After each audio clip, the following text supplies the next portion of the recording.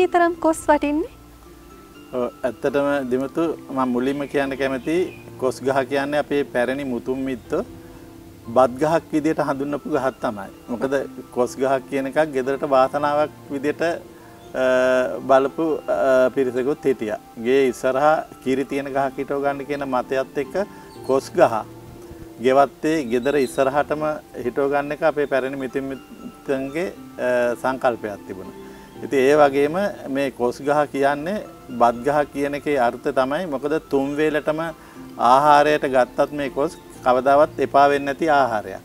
ඒක එක කාරණයක්. අනිත් එක කොච්චර නියඟයක් තියෙන කාලයක වුණත් අපි මේ කොස් ගහේ අස්වැන්න ලබා දීම කොස් ගහ මග හරින්නේ නැහැ.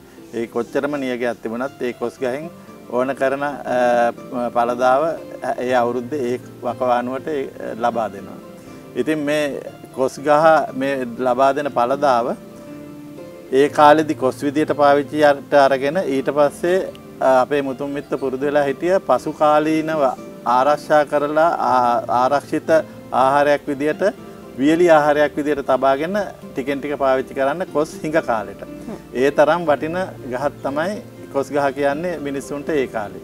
නමුත් එක කාරණයක් තිබුණා එහෙම Tamanට උවමනා කරන හොඳ රස ඒ කියන්නේ කොස් විදියට ගන්න පුළුවන් පළතුරක් විදියටත් ගන්න පුළුවන් ඒ හොඳ ශාකයක් කොස් ගහක් හදාගන්න නම් මිනිස්සුන්ට ගස් 10ක් විතර හිටවන්න අවශ්‍ය වෙලා තිබුණා. මොකද හේතුව හොඳ කොස් ගහක් මොකද්ද කියන එක තේරෙන්නේ එයාලට පීදුනාට පස්සේ තමයි. පීදිලා ඒ ගහේ ගෙඩි කෑවට පස්සේ.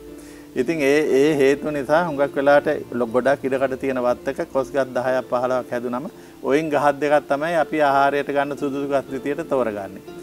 ඉතින් ඔය ඔය අඩුපාඩුවක් තිබුණා.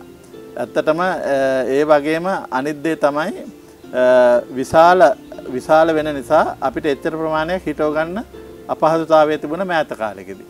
ඔය හේතු නිසා ක්‍රමක්‍රමයෙන් මේ කොස් ගහ සමාජයෙන් ඈත් වෙලා යන තත්ත්වයට පත් වෙලා තිබුණේ අන්තිමට කුඩා ඉඩමක් තියෙන කෙනෙකුට කොස් ගහක් කියන එක හීනයක් විතරක් වෙලා තිබුණා.